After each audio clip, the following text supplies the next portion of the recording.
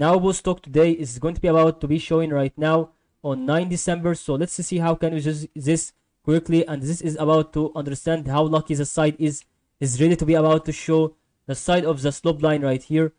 And another slope line right here is still going on through the concept of what is going on right now. As soon as possible, that is exactly the side that I can reach for. And I can tend to watch for it and still going on through this growth as I can see through the side that is really about to show everything that is needed. So, however, the thing is, it still has to be on the growth. This will be absolutely the increase in momentum next time because that it's really about to show every single movements it can be going on through the things that is being joined by my opinion about that and still going on through the wave it's still going on through every uh, single unit that it has to be like this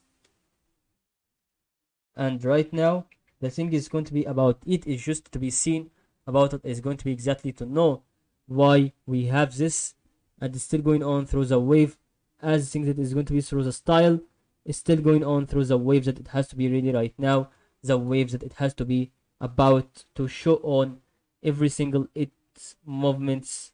not going to be having a thing that is having a problem but still going on through the side that is really about to show why we do this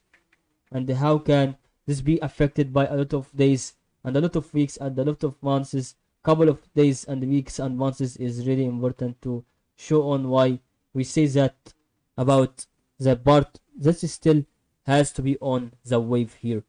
And that is all to help you exactly about the side of the price prediction and analysis on this movement. And good luck guys and see you next episode about another video on that kind of now stock